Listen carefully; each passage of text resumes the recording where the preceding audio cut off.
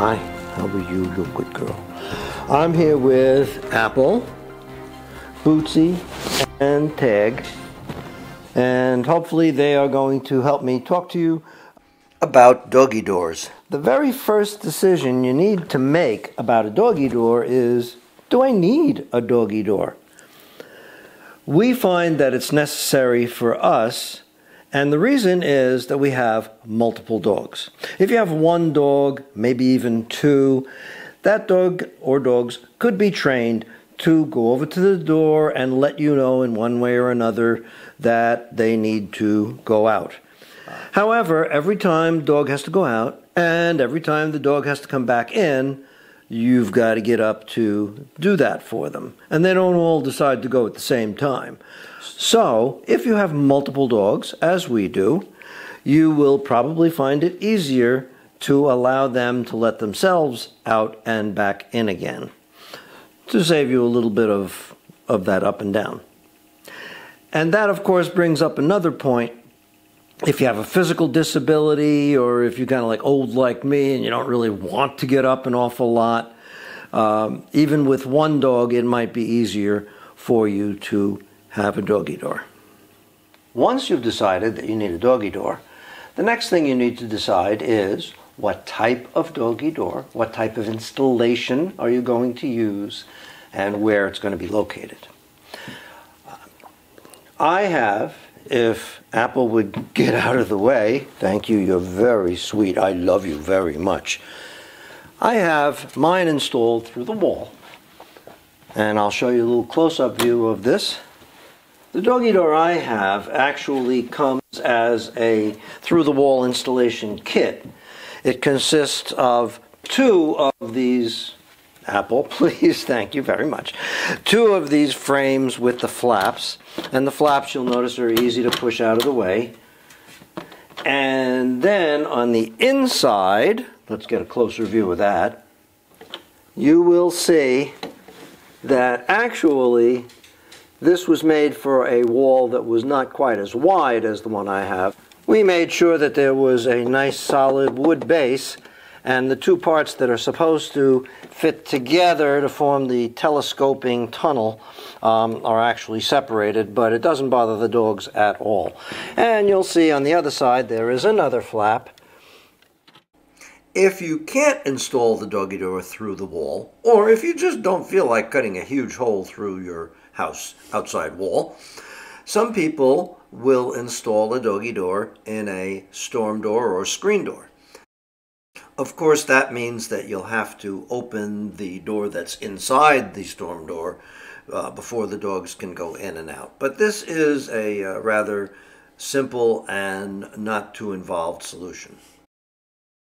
And if you happen to have a sliding patio door, you can purchase a panel, as you see on the right side of this photo, that fits into the opening and the sliding door rolls right up against it the only limitation really is the size of the opening that your patio door affords you, but your dog can go in and out at any time.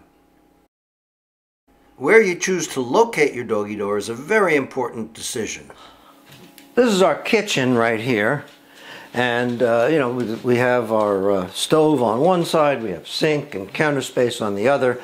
So all of our meal preparations are done here. And if you kind of look around this side, you will notice that we have bench seating so we can sit, have breakfast, or whatever we want here at the counter. And then behind me is our living space, if you follow me in. And this space is where we will spend our time if we are um, sitting and reading, listening to music, watching television, whatever. And of course, this is where the dogs spend all their time with us.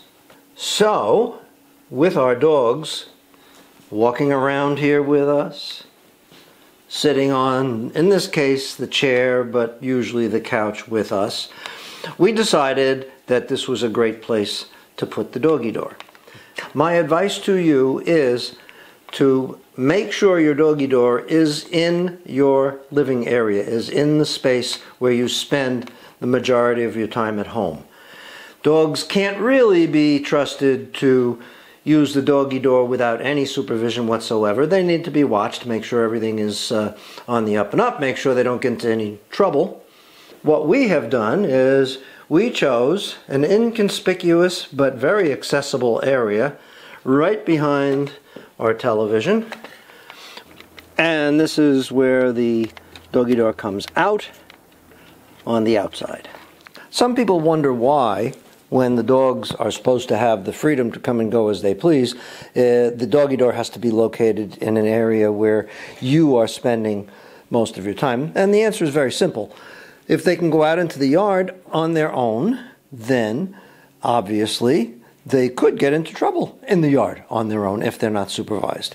Things like eating things that are poisonous, meeting up with a raccoon or a snake or a possum. All of those things, by the way, have happened to my dogs over the years. And we were always here to make sure that they did not get themselves hurt from those circumstances. There are certain musts that you have to take into account if you're going to have a doggy door. The first obviously is that if the dogs are going to have free access to your property, then that property has to be secured. You'll notice that we have a very secure privacy fence that surrounds our yard.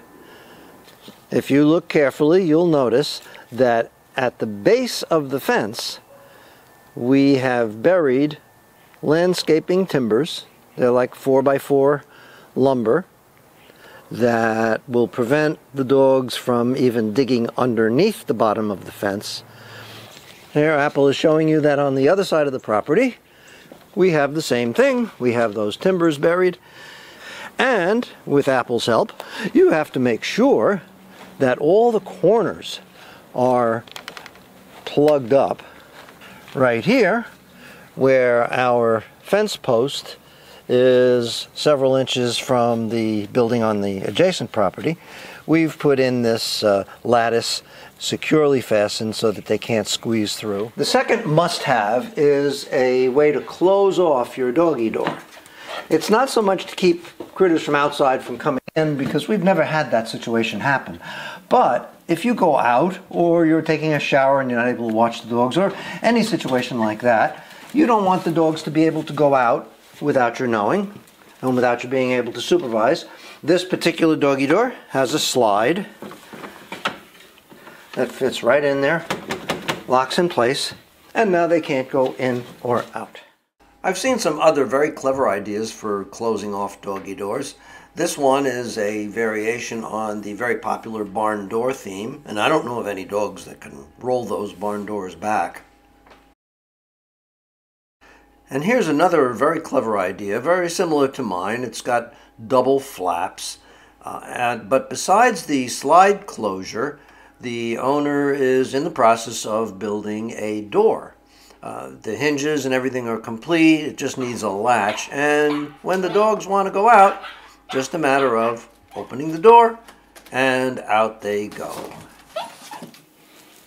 The third must is that you get the proper sized doggy door you need to know how tall your dog is, not to the top of their head because they just naturally put their heads down when they go through a doggy door, but the height at what's called the withers. Oh, she doesn't like the ruler.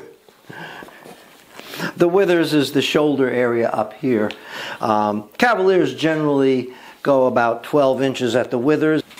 The height of the doggy door has to match or exceed that height, and if Apple would get out of the way, you could see that this particular doggy door, well, I guess you can't see, but it's about 12 and a half inches high. And you have to make sure that the bottom of the doggy door is sufficiently close to the ground so that taking your dog's legs into account, they can easily step over it. There are a few other things that are kind of desirable but maybe not absolutely necessary.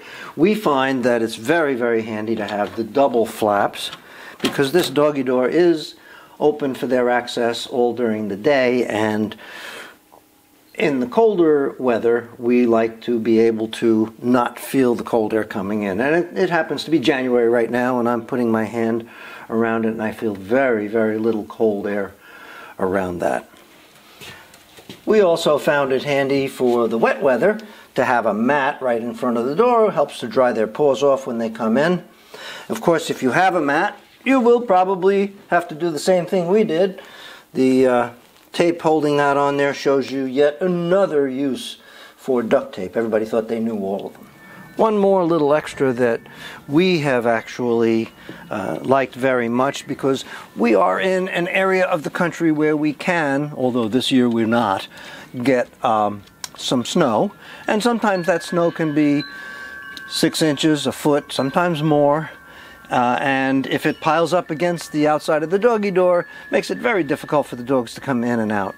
So, um, got an idea from somebody who posted it online for a uh, planter type of a thing. You'll notice it's open back here, so I can just push it right up against the doggy door opening.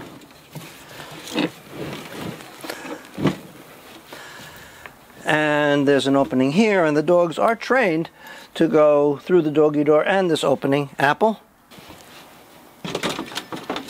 So you see they have no trouble going through that opening.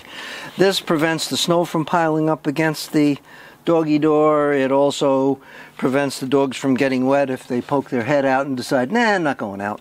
Um, and the bonus is with this particular design, there's a little planter on top. And as a matter of fact, wow, must be a warm winter because the sage that we had growing in here during the summer is still alive. If you know a good recipe that uses sage, maybe I'll pick the rest of these leaves and use them. So I hope you found that information useful. Uh, of course, dogs have to be trained to use a doggy door, but that's the subject of another video. So for now, Apple, no, Bootsy, somebody come up. Ah, Apple's up here. And I hope I'm not squishing her to death, but there's Boo.